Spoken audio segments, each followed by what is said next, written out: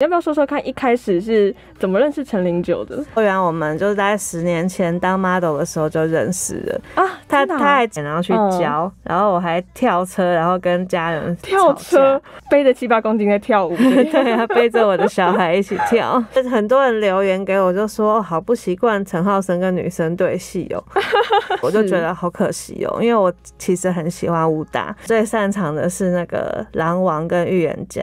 哦，真的？哎，预言。人家很容易就 就被砍了，就希望他们可以快快乐乐的长大，然后做自己想做的事情，然后不要去随便欺骗女孩子。长大以后大红大紫一定要看这集，就是妈妈的叮咛啊，真的。因为没有办婚礼，我就一直没有叫她老公这样子。哦，真的吗？对，所以那时候才会荡到谷底，就是得忧郁症，就觉得我已经这么努力了，怎么还是得不到别人的认同？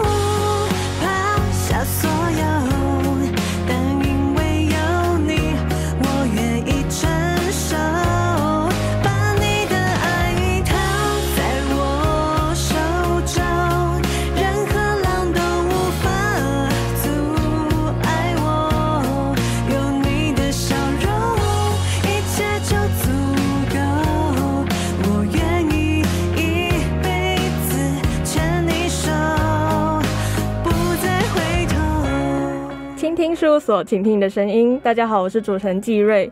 今天邀请到的来宾呢，我觉得他应该是二零二一年最幸福的代表人物了。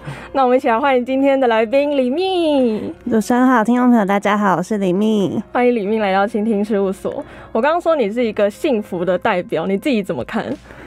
诶，我觉得在就是今年呢，因为刚好又遇到疫情，所以。虽然说的很多事情都还是遇到一些阻挠，可是毕竟是我就是出出唱片也好，然后最近又怀孕，所以觉得还蛮开心的。嗯，就是虽然还是很多不顺利啦，可是至少有一些很幸福开心的事情，算是喜上加喜了耶。嗯，其实今天我刚刚跟李密说，就是疫情之下，很多人都生活停滞了，对，或是生活变掉了。那李密自己呢？我自己也是啊，其实今年就疫情严重的时候，我我也还蛮低潮的，因为就是刚怀孕，然后。虽然说是开心怀孕这件事情，可是因为我的事业全部都要停摆，然后婚礼也全部都要延期，因为我已经从去年延到今年了，然后结果今年又很不顺利，又要延到明年。是，就想到说，啊，我要将要生完小孩才能结，就是办这个婚礼。了，就是很没有新娘的感觉，自己觉得还蛮挫折的。然后像我演艺事业啊，然后唱片也全部都要延后。哇，全部延后了。这更困难的点就是，我本来是预计在我怀孕大概两三个月的时候发片，然后宣传，这样我宣传完就可以很悠哉的去准备生小孩。是，结果现在延后了三四个月，害我就是要挺着很大的肚子来宣传，就觉得有一点比较辛苦，有一点辛苦啦。然后像拍 MV 也是，就是都变成我就是大肚子的时候要拍摄，嗯嗯，然后又有武打戏呀，要跳舞啊什么的，其实负担很大，真的。对，然后桌游店也是现在都还不能开放，所以我整个收入也是受到影响，就是其实有一阵子是很低潮的。是，其实这些就是你在一些新闻报道里有讲过，对，而且就是今年对你来说本来就很特别，但是因为遇到疫情，可能全世界的人。都因此而停摆了。嗯，但是其实李密的生活还是在进行啊。今年推出了 EP，以幸福为主题，我觉得真的是再适合你不过了。谢 谢谢谢。你 为什么会想以幸福为主题呢？因为本来就是打算这张专辑呢，想要在婚礼上面的时候使用这些歌曲，而且我觉得像歌手很多。都是符合像我上一张或者前几张，很多是符合我自己心境的歌，嗯，这样子我觉得唱起来会更有感觉，而且可以把我的故事分享给大家，对，所以会比较贴近自己的生活一些啦。所以这次以幸福为主题，就反正就是想要搭配我的婚礼，然后。刚好就是又怀孕这样子，像整张专辑三首歌都是很幸福洋溢的感觉。对，其实金刚说三首歌都很幸福洋溢，其实我们今天这集就要来慢慢介绍一下。嗯，好，是，就是我们现在听到这首歌叫做《新娘纱》，你要不要来介绍一下？《新娘纱》呢，其实是一个比较抒情摇滚的风格。嗯，它其实是这三首里面。比较偏没那么幸福的一首，因为它是有一点那个像罗密欧与朱丽叶，就是两个人不能结合，可是可是他们就是非常努力想要逃离原本的阵营。就是以狼人杀为一个主题啦，就一个是狼人阵营，一个是好人阵营，嗯，所以他们比较凄美一点，就是要很努力逃离，然后可能就是中间我们两个人不一定会活着生存下来，嗯，可是呢还是很很很想要就是逃离这些可怕的地方，然后去创造一个美好的世界，这样。是，就是其实当中是有这个挫折存在的，嗯，对，是有一些。困难需要去克服的，对，因为其实呃有玩过狼人杀的朋友可能知道，就是第三方阵营其实很难存活下来，要获胜其实是非常困难的，所以 这需要靠两个人真的是非常艰辛的去努力。是你刚刚说就是狼人杀的第三方阵营其实是很困难存活下去的，所以其实林密平常也是有在玩狼人杀，对不对？对啊，我其实是因为去年在宣传的时候，因为要上娱乐百分百的。那个嗷呜狼人杀，嗯，然后那时候我本来还不会玩狼人杀，就是没有平常没有在玩，因为我本来都是喜欢玩一些策略游戏为主，很少就是接触阵营游戏。结果就为了上节目，想说不能丢脸啊，我开桌店努力练习，就是努力练了好几个月，拼命每天都在练习。哇，你每天玩？对，我就每天找客人啊陪我练习这样子，然后后来一上节目就得到 MVP，觉得超开心的。天。那就是我有努力有收获，对，然后所以后来觉得哦，狼人杀也是有很大的学问呢，就继续努力钻研。就是现在过了大概一年的时间嘛，已经玩出一些心得来了，然后就是想到说，哎，我可以来创一些新的角色，然后。把新的新的东西带给大家，让大家可以更丰富。因为狼人杀就是不断会一直有新的板子跟角色，这样子大家才不会玩腻，然后就会越玩越有趣。这样子，是就有新的角色出来，也可以更多人一起玩了。是啊，而且有新的功能了。嗯嗯，而且这次这首歌也有一个新的卡牌出现了，要不要？对，这次就特别造福我的 听众朋友，对粉丝跟那个歌迷朋友，就是跟狼人杀联名。一个新的角色叫做灵妹新娘，还有幻爱使者。是那出了一个角色在 MV 里也看得到。对，就是跟我的 MV 角色一样，然后还出了一个特别的幸福特仕版，就是限量的，就是大家可以去所有店都买得到。那这个这一批限量完就没有了，然后里面就有这两个新角色，嗯所以希望大家可以收藏一下。这两个角色跟以往有什么不同吗？就是这两个角色有什么功能？有啊，其实它玩法是。比较进阶版的，它它有三种玩法哦，就是一个三种玩法，单独灵媚新娘一种玩法，单独换爱死者一个玩法，然后两个人合体又是一个玩法，就有第三种玩法，是，所以就是两个角色三种玩法还蛮划算的，就希望大家可以一个卡牌有不同玩法，就是你不怕下午无聊，对啊，所以我还蛮用心在研发的，因为三个玩法都是我自己。自己去研发出来，还要请我的客人们帮我测试，这样子测试很多次，这样对测试蛮久的，所以这三个玩法都还蛮有趣的。而且这个造型也很特别，也是你自己本人造型。嗯，对，MV 里面造型就是参考那个灵妹新娘的卡片做的，对啊，然后所以我自己就是。跟林妹新娘联名的这个款式，然后我常常玩的时候都会抽到，我觉得很开心。哦，对吗？就哎，我抽到我自己耶。对啊，就 林妹新娘就是我本人呢。对啊，抽到就觉得哇，还是我耶。是，就自己创造的游戏，然后自己玩。嗯，是。这首歌呢，其实是你跟陈零九来合作的，陈零九帮你来制作。对，你要不要说说看，一开始是怎么认识陈零九的？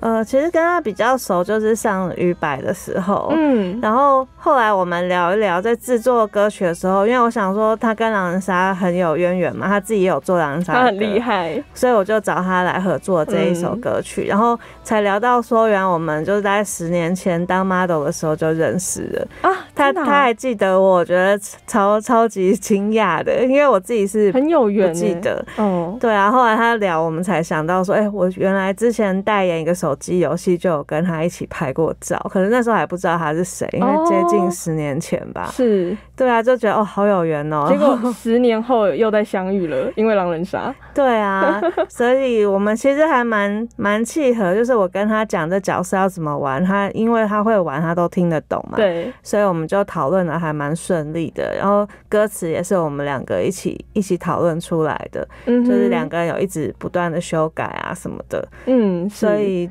自己觉得有一些新的火花，就是我每次都找不同的创作人跟制作人，对，这样子就会有一些新的东西出现，我觉得还蛮好的。这新的想法、新的概念就会出现了。嗯，是。你还记得你那时候对陈零九的第一印象吗？十年前可能记不得了。那如果后来来鱼摆的时候，我其实一直都还蛮喜欢，就是他玩狼人杀的样子。就是他酷酷的，然后就可以直接点出狼人是谁，我觉得很厉害。是，对。然后上节目的时候，就是我其实对陈零九啊、黄伟晋我都很很崇拜，他们都是高手啊。对，就是有一种见到狼人杀偶像的感觉。因为我是狼人杀新手，所以就是要好好跟他们。可是你是厉害的狼人杀新手哎。就是 慢慢慢慢学啦，因为毕竟没有他们玩的那么久，是对。可是我毕竟也是资深的桌游玩家，号称桌游女王，就狼人杀也算是一种桌桌游，所以我可能学的还还算快这样子。所以就最近后来也是一直在努力钻研嘛，就是希望今年。去上鱼白又可以更进步了，又可以跟他们来 PK 一下。对对啊，看谁是狼人杀高手。但其实你拍摄新娘杀这个 MV，其实中间遇到了很多困难啊。嗯，要不要来讲一下呢？呃，其实最困难就是要跟一开始前期跟导演啊，然后跟。经纪人他们团队企划什么团队沟通，因为他们其实都不是很会玩狼人杀，我就说跟他们他们会有点不太懂，说还为什么这里要有狼人出现之类这样吗？就是我跟他们讲解很久我的这个角色的概念是什么，因为我想要把它演出来，就是在 MV 里面。对，所以就是你们如果跟不会玩狼人杀的人解释这个角色，就会知道我的痛苦，所以开会开很久这样子，然后我就。讲其实很多都是我的想法，然后导演就是想要让他有武打，然后有枪战。其实原本是武打比较多啦，可是因为就是后来我肚子太大的关系，就是删了很多武打戏，就改成枪战画面是比较多的。我就觉得好可惜哦，因为我其实很喜欢武打。其实你很想要武打，因为我以前学拳击的，啊我就是一直想要在戏剧或者是 MV 里面有一些这种武打的演出，展现一下这样。对，可是就刚好遇遇到怀孕，就大家很害怕，就赶快阻止我。可是我看到 MV 里面，你有一个画面，还是就是有啦。你一脚把别人踹开，对啊，其实肚子真的蛮阻碍，就是你要哦踹人的时候，我本来可以踹很高，用飞踢的，现在只能就是抬一点点，可能大概四十五度角了。对啊，就整个困难度增加很多，然后加上我又是怀孕，有的人都会会水肿，我自己也是嗯水肿蛮严重的，然后，他给我的那个 MV 里面的鞋子又是很硬的、很硬皮的那种鞋，哦，然后我穿到就是整个脚都肿到满出来了，天，哦，就觉得很很痛，然后武打的时候又受伤，对，所以是就是我自己自己是还蛮大胆的啦，因为毕竟都喜欢拍武打了嘛。然后可是现场工作人员都超紧张的，对，今天今天李密来到现场，我自己也有点紧张。我想说，因为其实来到我们录音室要爬四层的楼梯，对啊，我对我对孕妇来说真是有点 真的喘。很困难。对，因为我平常其实都有运动，所以是嗯还好。可是怀孕真的是还蛮喘的，是，而且加上又戴口罩，对这个真的是重点，就是戴口罩真的会很喘。像是背着，因为我现在胖了大概七八公斤，就像你嗯背着一个七八公斤的东西爬爬楼梯一样。嗯，对啊，能体会那种搬家工人的辛苦了。是，今天访问到的来宾呢是李密。那今天我们有一个影像专访，在季瑞的 YouTube 频道搜寻“纪念的季瑞是的瑞”就可以找到了。那因为今天很建议大家可以看这个影像专访，是李密今天穿的非常漂亮来到蜻蜓事务所，嗯，谢谢。戴着粉色的口罩，又一身粉红色，对你。喜气洋洋。对，真的，我刚才一看到你，我我脑海里就是这四个字，我真的觉得喜气洋洋。我想说，哇，不愧是以幸福为主题的 E EP，带点喜气来分享给你们啊。真的真的是非常高兴，今天李密今天来到倾听事务所了。那刚刚有讲到说，因为狼人杀跟你有这么多的连结，你嗯自己有没有最喜欢狼人杀哪一个角色啊？嗯，当然是我自己的 联名的角色啊。哦，是那除非是像平常如果玩，你有玩过网杀吗？就是手机玩的，嗯，手机玩的有，就是因为疫情期间没有办法去桌游店玩，所以我就改成玩手机的这样子，就是蛮不一样的，而且角色确实少很多。嗯因为平常见面玩，你还可以自己发明一些新角色啊各式各样。可是网络它就是限制于它的那个城市嘛，对，然后我自己。在网络上面玩最擅长的是那个狼王跟预言家，哦，真的、啊，哎、预言家很容易就就被砍了，对啊，可是因为预言家其实是很很难说服大家。我都说预言家很像公务人员，你要嗯选总统，因为我们要选警长嘛。对，那预言家要想办法。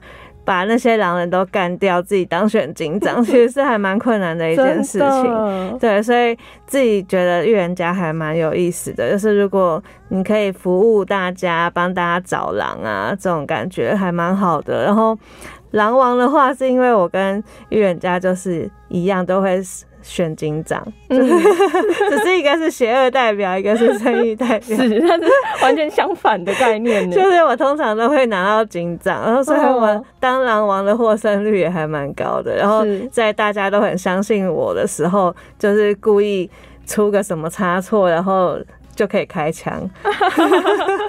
其实你都埋下伏笔了，都埋下好几个陷阱给别人跳的。对啊，所以我我就自己也蛮喜欢那个算是预言家这个角色啦。嗯嗯，对啊，然后女巫也还蛮喜欢，最喜欢的其实是射梦人，所以我怕大家不太知道是什么。哎，圣梦人是什么？你要不要解释一下？射梦人他是把人的灵魂吸到他的梦里，然后那个人如果当天被狼人杀的话呢，他不会死，因为你就在我的梦里哦，去梦游了。哦，有这样子的解释，它是可攻可守，然后如果如果我连续把你的灵魂带走两天，你就会永远在梦里回不来了，哦，还有这样子，你就会死掉。所以我是哦可以把狼人杀死，也可以保护好人的一个角色。啊，对他就是有点像是守卫加女巫，就是可以弄死别人，也可以保护那个人。嗯是。对，所以我自己本身最喜欢射梦人，我觉得比较少人玩。听完你的解释，我觉得你对狼人杀真的是完全透彻的了解。谢谢，因为每天玩嘛。是，现在一样都会玩吗？现在就是没事在家里就是玩手机的，然后那个假日就是会邀朋友来家里玩。嗯哼，对是，以前就是在桌游店每天都玩啊，每天都跟客人玩。是，就是狼人杀其实也是一个你可以跟大家连接互动的游戏。嗯，就是可以增进彼此的感情啊。我觉得也是在那个疫情期间的时候。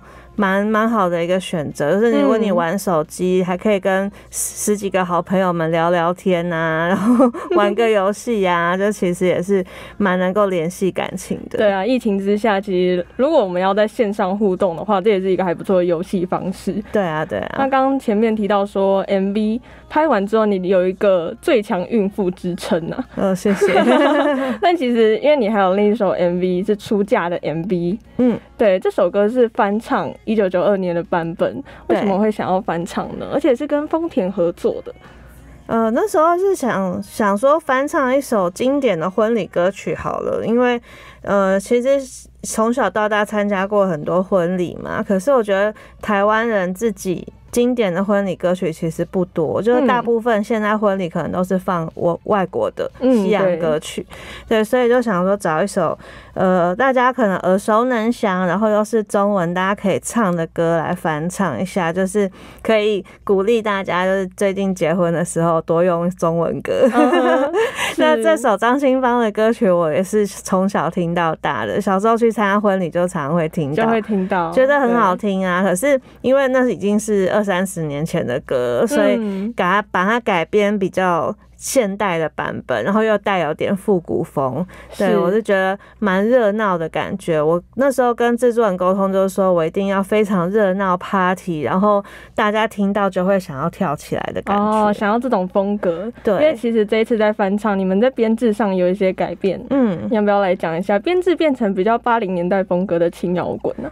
对啊，其实就是想要在婚礼的时候能带给大家比较能够幸福啊、开心啊。嗯，就是会一起跳舞的感觉，对，也比较符合现代的风格，不像古代可能婚礼就是很严肃啊。啊，对，比较如果是传统的话，可能还要跪拜啊，对，这里要跪啊，这里要拜这样。对，就是稍微比较有点现代，就是融合西式婚礼的这种风格，嗯，就是可能适合就是大家都站着啊跳舞啊 很嗨这样子。对，对我觉得蛮符合就是最近大家喜欢的婚礼的样貌。其实你在 MV 里面。你也跟丰田有跳舞啊？对啊，对，那期待就是以后的新郎新娘也可以一起跳，跳这首歌。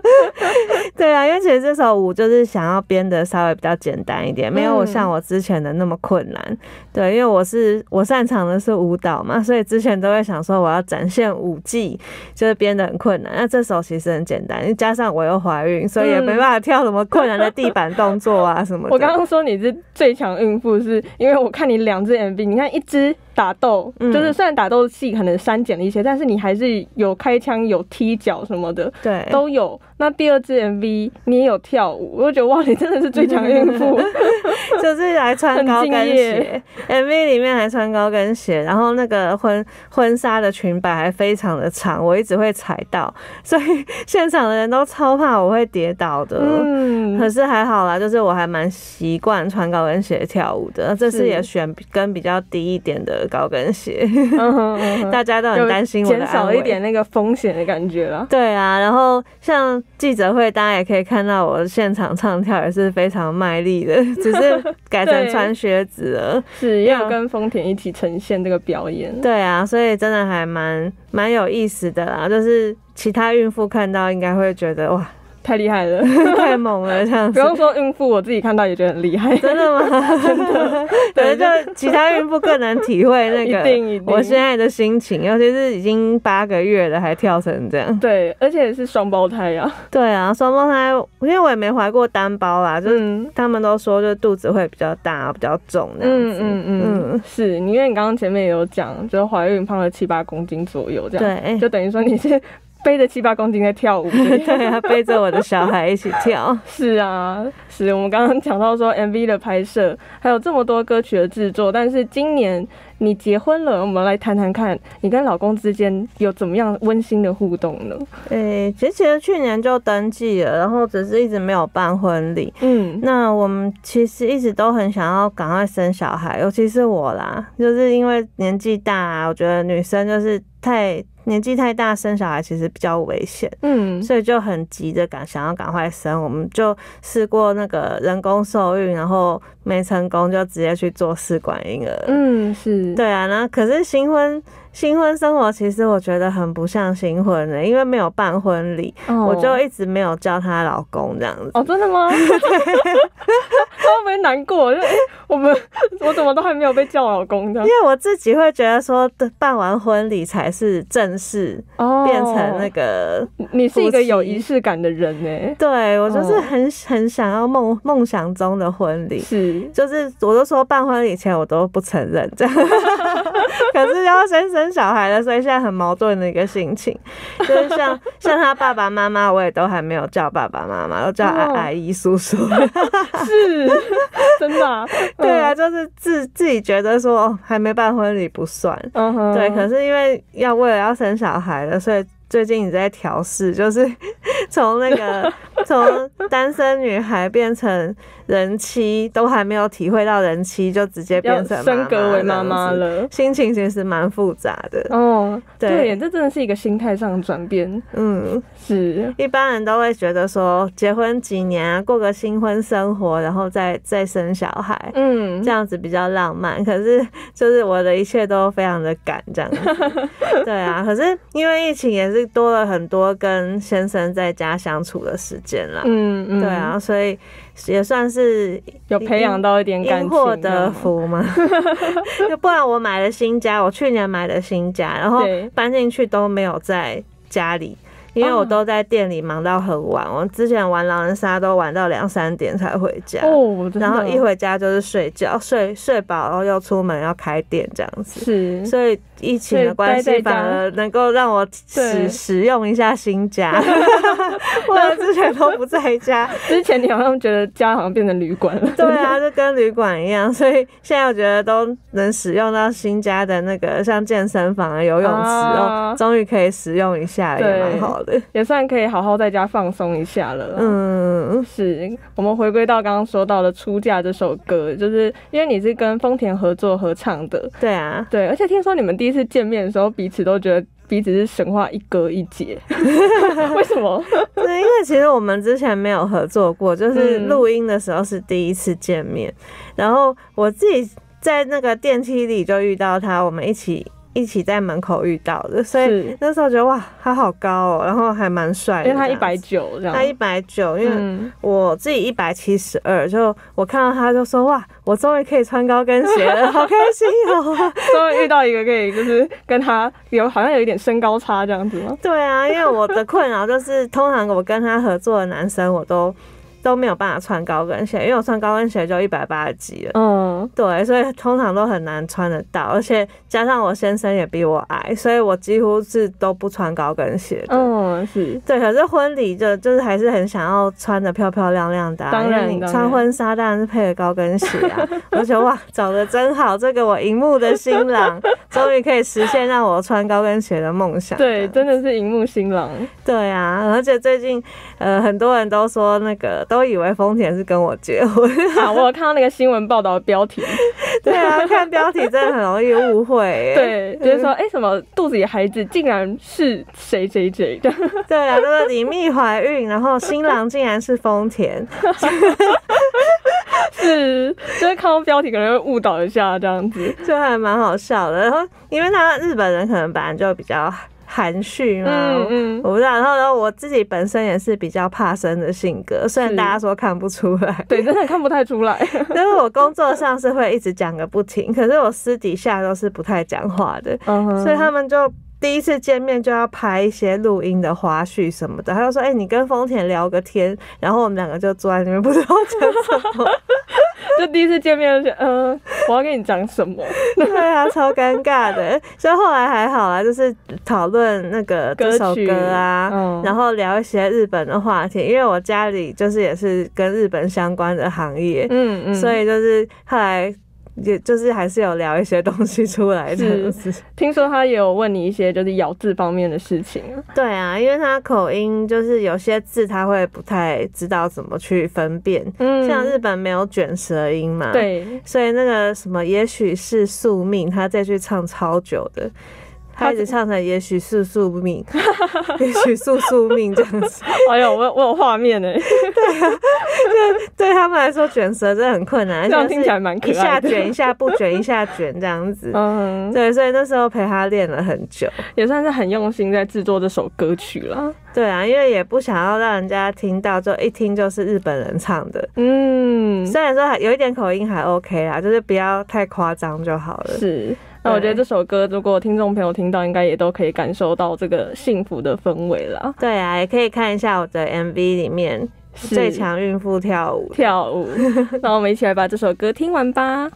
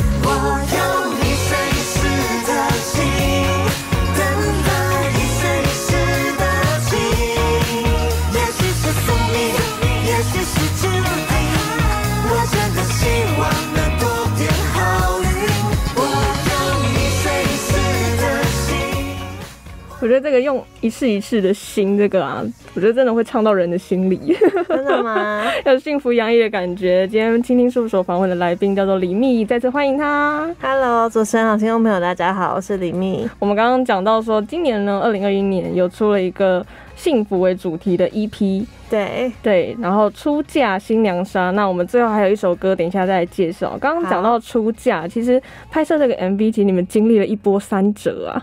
真的，哎呀，怎么讲？因为本来是打算就是在我肚子还看不到的时候，两三个月的时候就拍啊，嗯，结果刚好遇到疫情，就是延了三四个月，所以到我大概快七个月的时候才拍。是对啊，所以我就只好挺着大肚子穿高跟鞋跳舞。衣服也改了，对吧？衣服也要一直改，因为后来就是肚子大的很快，嗯，所以试穿的时候就是哦，现在试穿 OK，就后来要拍那天台风来，下雨，哎然后就又要延，延 了又又延了大概两三个礼拜，哦然后又要再重新再穿一次，然后要又要修修改，又要修改了。没办法，我真的觉得就是。因为我前期几乎是三三四个月都是平的，嗯，然后到后面就是真的是每天都在变大哎、就突然间就一直增长，一直增长。对啊，那我的宣传每次看到我都说哇，你肚子又变大，是，所以他们那个打歌服也是很痛苦，就是就要一直改，。一直改。对啊，对不然就是要买超大件，可是超大件很可能又很难买这样子。是，其实你从刚刚讲到现在，我发现今年拍摄 MV 真的是一件非常不容易的事情。对，啊，啊，就是除了要等那个降级嘛，因为之前疫情是不能拍的，然后降级以后，所有工作人员还要先快筛，然后快快筛完还要戴着口罩拍摄，就是只有演员可以不戴，所以其实对大家来说都还蛮辛苦的。对，就是从我们前置作业准备到拍摄当下，嗯，其实都是一个过程。因为疫情，其实有很多事情要准备，对啊，而且我看那些摄影师也是很辛苦，因为可能大太阳下，他还扛着摄影机，然后戴口罩，还要爬上爬下这样啊子，，对。就跟我刚孕妇爬楼梯是一样。对，然后就戴着口罩，对啊，对啊。就大家都很辛苦，所以就是这次能够出唱片，真的是很很感谢。嗯，嗯就是好不容易诞生了这样子的 EP，嗯，是，那其实今年对你来说，其实我觉得也是一个很特别的一年。其实我们平常说双喜临门，对你来说是三喜临门。对啊，就是发 EP 嘛，结婚，然后又怀双胞胎。是，而且双胞胎有个小名叫做大红跟大紫，对啊，其实我本来是取紫儿跟红儿，因为自己幻想着是女生这样子。哦，对，就后来发现是男生，那朋友就说你你要不要改成大大红大紫？所以反正你刚好要发片。刚好配合一下，就是对啊，因为我最喜欢紫色，我我先生最喜欢红色，是所以我们想说，然后那就小名就叫这个啊。叫大红大紫。对啊，那你即将升格为妈妈了，你你有没有觉得说为对大红大紫有什么样的期待啊，或者担忧啊？其实比较比较没那么担心欸诶、因为毕竟也是男生，嗯。男生反正就比较放心一点，就希望他们可以快快乐乐的长大，然后做自己想做的事情，然后不要去随便欺骗女孩子。因为我之前感情很不顺嘛，就常被男生骗呐、嗯所以我就对他们的期待就是不要去骗女生就好 了。是，像长大以后大红大紫一定要看自己，就是妈妈的叮咛啊。真的是，对啊，我因为我其实从小是家人给我太多太多期望，所以我觉得压力很大。嗯然后又不准我走演艺圈，所以我希望就是我自己当妈妈会希望我尽全力去支持孩子的梦想。就是他们有什么事想做，就尽量的去帮助他们。对，啊，对啊，嗯，因为其实李命自己你毕业于台大，嗯，是，那你未来会不会对小孩也有这种课业上的要求？我完全没有哎、完全不会，因为我自己很不想念台大。我天自哪，我自己从小就想就走演艺圈啊，哦所以我那时候最想念的就是华冈艺校。哦，然后大学也是希望走演艺相关科系这样子，嗯然后家人就是坚持一定要我考台大，我也好痛苦，因为那时候本来还不知道有戏剧系，因为我那时候才第四届，算是很新很新，是。所以后来我就只想台大里面我唯一想念的就是戏剧系，因为它比较跟演艺相关，对，所以当时家人不会反对吗？超反对啊，到了台大怎么念戏剧系这样？对啊，我就为了填志愿表，那时候还要手动填，然后去嗯交，然后我还跳车，然后跟家人跳车，因为家人载我去啊，在车上他们死不让我填，我就只好跳车自己去缴这样。天哪！我觉得你不止在 MV 里是最强孕妇哎，你所以学生时代你就是最强的叛逆学生，是个叛逆的小孩这样子，是。就为了念戏剧系不择手段。我想说我已经配合，就是念台大了啊，嗯，对啊，所以这上能上台大戏剧系是我求学以来最快乐的时光，因为终于可以念自己想念的科系了。终于走到这一步了，这样，对啊，然后像世新，我其实也蛮想念的。哦真的啊 就是有很多跟传播相关的科系啊，对我自己也还蛮蛮想要的。是。那其实因为去年你有一个微电影叫《被讨厌的勇气》，嗯，是从你自己的亲身故事改编的。对啊，对你那当时看到剧本有没有什么样的想法呢？其实我跟编剧讨论非常久，因为他就是他听了我就是从小到大的故事，然后想要从里面截取比较精彩的，然后可以带给大家一些想法的，嗯，把它改编成那个最讨厌的勇气。对，所以看完剧本以后，虽然有一些还是有改编的成分啊，嗯不是真实发生的事情，是可是我觉得还看了还蛮感动的，就是。把这我后来还去看了《被讨厌的勇气》这本书，嗯因为本来我不知道，是编剧跟我说的，然后就发现说真的是大家都很需要被讨厌的勇气，而且这是我最缺乏的一块，因因为我就是很很喜欢去符合别人的要求，只要被讨厌我。就会很害怕，就会很痛苦，嗯所以后来觉得，哎，真的，这是我最需要的一股勇气，这样子。是，嗯，其实刚刚前面讲到说，这个故事你是你的亲身改编，对。那我自己也有看完。对，我觉得说，好像很多人的人生都会遇到这样子的事情，可能我们不符合别人的期待。嗯，对，李密自己会怎么看待这件事情呢？如果我们不符合别人期待，我们要怎么去调试？如何去克服？我就是拼命型的那种、哎，所以对自己太要求了，然后就会挫折感很大，所以才会一直得忧郁症。嗯因为求学的过程，我觉得就是努力念书就会有好成绩嘛，所以我为了符合别人的期待，我就是拼命念书。还有这个，我觉得算是最简单的，就是你努力就会有成绩。嗯可是后来在表演上面不是这样，就是我再怎么努力，我每天练歌、练舞、练八个小时到十二个小时，别人还是说你你就不是你就不是唱将啊，你天生歌喉就不好啊，然后你天生就肢体残障啊，跳舞跳很丑啊，嗯就还是一直被别人批评。就是会有这样子的留言呢、对，所以那时候才会荡到谷底，就是得忧郁症，就觉得我已经这么努力了，怎么还是嗯。得不到别人的认同？是，对，所以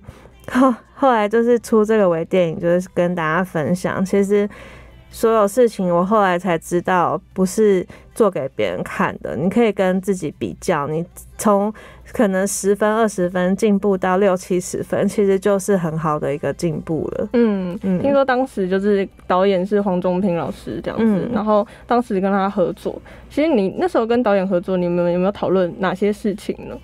呃，讨论其实蛮多次的诶，就是他也是很用心的一个导演，他想要把我这个微电影，因为我记得他也是第一次拍微电影，他想要把它拍的很好，他也是很 对自己要求很很高的人。然后我又是跟这个偶像一起合作，因为我很嗯喜欢他拍的 MV，、他都拍一些很厉害的歌手 MV。是，对，就是跟他讨论很久，而且一开始我超害怕的，就是都不敢给意见。我想说，跟我的偶像开会，我能我能讲什怕被么？打枪，对不对？就完全不敢讲话、欸。嗯然后像拍戏现场的时候也是，就是导演说什么我就做什么，完全不敢有自己的意见，嗯。就是整个超害怕的。是，对，可是后来才知道说，哦导演他其实不是那种一板一眼的人，他会、嗯他会喜欢就是你有一些随性的演出啊，或是有一些自己的想法，嗯，所以他一开始觉得说，哎、李密怎么怪怪的，然后放不开这样子。后来拍到第二天，我才知道，哦，原来可以我自己加自己的想法啊，就进去。原来我可以做我最真实的样子。。对，所以后来导演就觉得比较 OK 了，就终于放得开了这样子。是，那其实拍摄这个微电影，应该有很多女生很羡慕的一点是，居然跟陈浩森对戏。其实那时候我不认识陈浩生呢、因为嗯他跟我拍的时候，就是还没有发那个电影，是，对，所以就是我其实原本是完全不认识他，而是导演推荐说，哎、这男生很帅啊，又演的还不错，又很认真，对，对，所以我其实也没有太。对帅哥有太多的追求，就是觉得哦高度够高就好了，就我可以可以尽情的穿高跟鞋。对啊，所以后来就是出来以后，才很多女生羡慕我，就觉得哦原来是这样子啊。对，当时他是，其实他在戏里是演你的死对头，哎，是后来才变好的，就一才变开始是，死对头，后来嗯才感情变越来越好这样子。，对，但是很多人留言给我就说，哦好不习惯陈浩生跟女生对戏哦，因为后来看到刻在你心底的名字，就都是会觉得跟男生、应该跟男。生啊，嗯嗯，是就变成一个陈浩生，好像哎、突然间有个惊喜的样子，对啊，大家都说超不习惯。就变成跟女生对戏了，对啊，是，可是他本人很可爱啊，就是他会一直在拍戏现场一直唱我的歌，啊就是那首《爱不凋零》。嗯我说哇，你好厉害哦，还没发行你就就会唱了。是。对啊，就还蛮认真，然后很活泼的一个男生啊。其实，因为那个微电影当中，你也有唱到《爱不凋零》这首歌，那我们现在背景音乐也有听到这首歌，嗯，你要介绍一下吗？《爱不凋零》其实就是灵感来自于我就是不雕花的花艺教室，嗯，因为之前第一次就是去年疫情刚开始的时候啊，我就是也是很沮丧嘛，所以就去学了不雕花这个花艺课程，然后后来自己开了花艺教室。发现说我的忧郁症因为学这个新的东西好起来了，因为它很漂亮，然花后又自己动手做，很有成就感。对，然后，而且我加上我有一些的忧郁症的学生，他们来上课以后也好起来了，我就觉得好感动哦，真的是啊能够帮助别人是很开心的一件事情。对，所以后来《爱不凋零》这首歌，我也是自己有修改一下它的歌词什么的，就是希望把这个勇气加上爱，就是传递给大家。嗯，是，就是爱真的是不凋零的，对，而且它是可以传递出去的，就是你自己拥有这个勇气跟爱，你可以再分享给别人的。是。其实刚刚因为你说到花艺这一块，我就觉得哇，其实里面有分很多个面向哎，不管是在歌唱、嗯。戏剧，那你私底下有桌游，也有花艺，嗯，对你自己在这么多个领域当中，你有没有觉得说自己最忠于哪一个领域呢？我其实最最热衷的还是在表演上啊，就是嗯。唱歌、跳舞、演戏，是我从小到大的梦想。嗯，对，因为这个行业真的没办法那么稳定嘛，而且加上我之前讲的，就是常常没有工作，我就会开始忧郁，所以就自己嗯。又在创了这个桌游还有花艺这些副业，是。让我可以有有那个抒发的管道。嗯然后也有嗯。也也有办法，就是把我的故事分享给大家，对。而且我都会跟像我学生啊，还有客人都变成超好的朋友。啊，那真的很棒哎，对啊，因为我很喜欢分享自己给别人，是大家都说我看起来好像很难亲近，可是后来就是这样，客人客人一开始会跟你讲吗？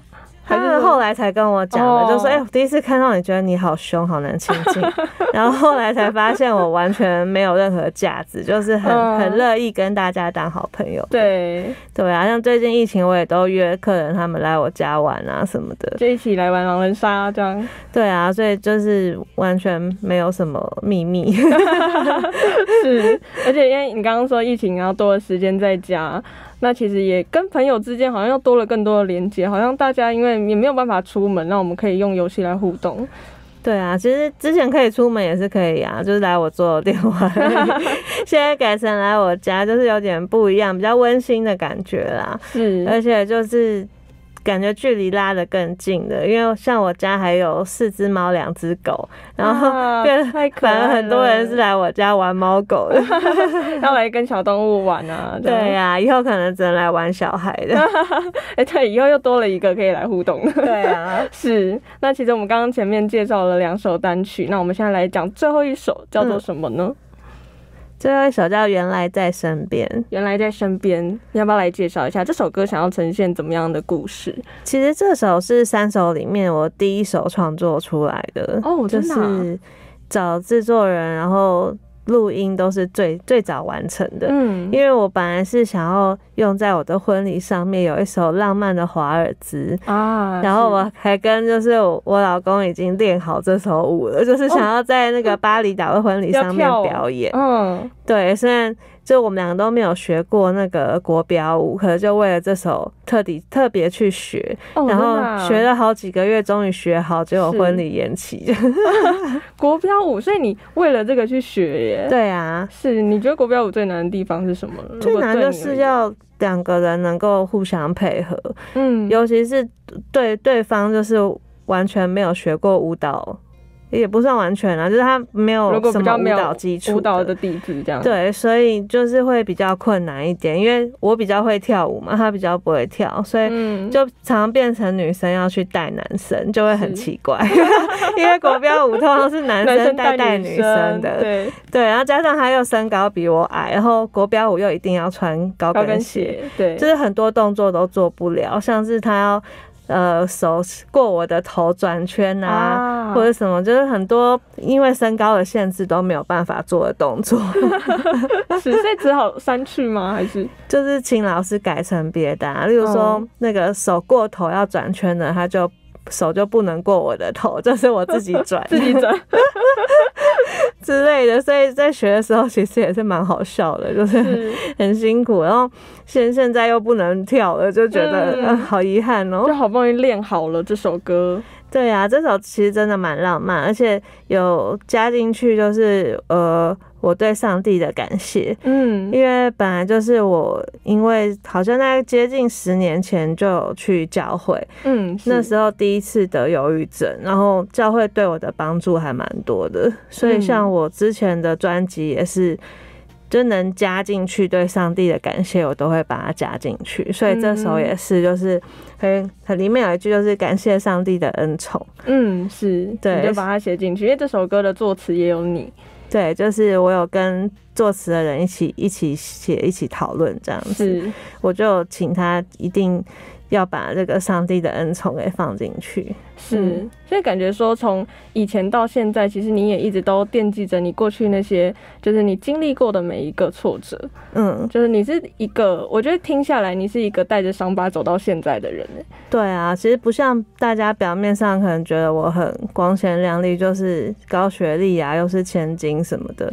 其实我自己觉得人生还是很多坎坷、很不顺利的。嗯只是因为上帝，我觉得给我很多帮助，然后也给了我很多礼物。是，对啊，像我的家世背景啊，或是像我的头脑、我的一些天赋，都是上帝赐给我的，所以我一直都心存感激啊。是，其实李密自己也是有很多努力啊，谢谢，就配合你的天赋，他们才可以创造出现在的样子。嗯，是很高兴今天里面来到倾听事务所。那我觉得刚刚前面分享了这么多的内容，我们最后来聊聊李密自己。嗯，我们最后的时间来聊聊你自己。如果要用，如果要对十年前的你说话的话，你会想要说什么呢？刚刚你说十年前你遇到了很多事情，嗯，那如果现在的你回头看，你会想要对他说什么呢？我会好好鼓励他，就是不要在现在犹豫里面了。嗯而且，呃，那时候因为常常失恋啊，然后就会就会走到那个忧郁症的低潮里面，然后加上事业又又不是很顺利，所以我现在会跟他讲说，呃。你你想想，你以后一定会更好的，所以不要再执着于现在的挫折。你只要走出来之后，一定会遇到更好的人、更好的工作，然后在低潮里面，你一直哭只是浪费时间，还不如赶快振作起来去努力别的事情。嗯，是。那其实，呃，我觉得很多青年啊，跟从前的李密一样，一定也会很想要往演艺事业走，但是他们可能不知道要怎么样进行，也不知道动力来源的来哪，可能做了没有一点回馈。你有什么嗯鼓励想要给大家吗？呃，其实要做表演的话，你要很有决心诶、因为嗯其实像我的同学们或是这一行的，其实饿死了没饭吃的都很多。嗯，所以你要先有心理准备，就是你可能会呃经济困难一段时间 是，而且也是有要有一点运气啊，因为观众缘也很重要。对，所以你可以给自己设一个设一个限制，例如说你觉得可能多久的时间是你可以拿来努力的，比如说我嗯努力到三十岁啊，努力到三十五岁。要有一个期限，这样。对，如果不行的话，你就是可以考虑转行；如果行的话，你就是继续坚持下去。只是不要想的太过美好，不然你就会失落感会很重。嗯，对，就是你要先做好准备，可能先存够钱啊，就是 一阵子时间没有工作这，是比较现实方面的事情了。对对对，其实就是一股热情吧。如果你对表演真的很有热情，你就抱着饿死也无所谓的心情一路走下去。嗯，是，就是我觉得可能是说，在人生的每个阶段啦，我们可能都要像从前的你一样，怀抱着这样子的热情走到现在。嗯，是，那今年发行的 EP 也充满了满满的幸福感。那我们最后有没有什么话想要跟支持你的人说呢？呃，真的很感谢，就是我做表演其实已经二十年。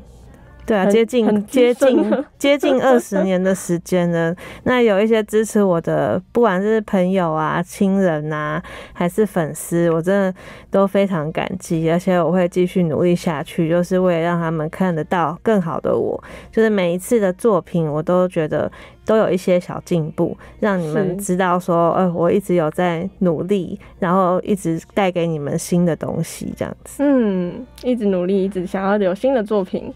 未来有什么样的期许吗？或是有想要挑战怎么样的领域吗？未来哦，我觉得现在是网络时代，所以未来会想要多拍一些网络影片呢，就是跟大家分享啊在 YouTube 上吗？分享，对我分享我的生活啊，我怀孕或是当妈妈的一些心情。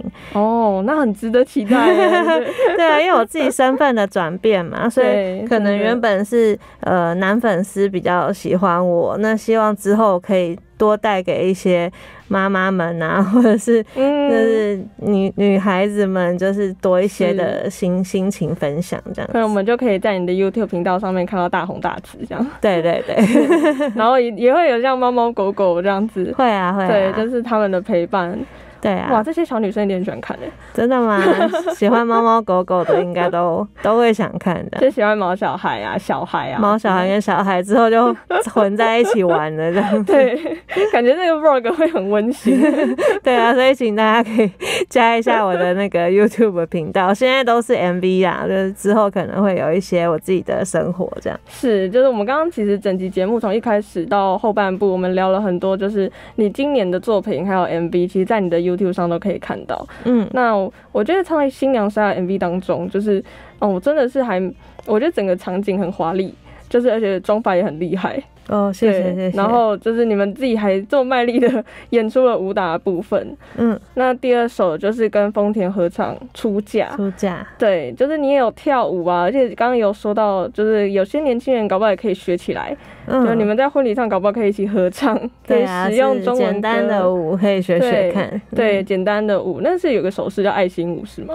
对啊，因为嗯我跟丰田都有比爱心，可是是不一样的方式，然后跳的也不一样，所以是不管是男生女生都可以去学看看。都可以学看看，就是嗯其实也蛮好上手的。对啊，好记又好跳。是这些我们这些内容都可以在李密的 YouTube 频道上看见，对啊，可以搜寻一下李密 Mina M I N A 就可以找到。那我们还有在哪些平台可以找到你呢？那我的 Facebook 也是搜寻李密 Mina 就可以找到了，然后 IG 的话也有，这三个平台是我最常使用的。密其实是呃一个宝盖底下一个必，必须的必是蜂蜜的蜜，没有虫哦，不要打错字。是李密这样子。非常谢谢李密今天来到倾听事务所，好，谢谢大家，也非常谢谢各位听众朋友的收听。那我们下周再见喽，嗯，拜拜拜，拜。为彼此每一天许下誓言。我听见灵魂中的和弦，就像照片。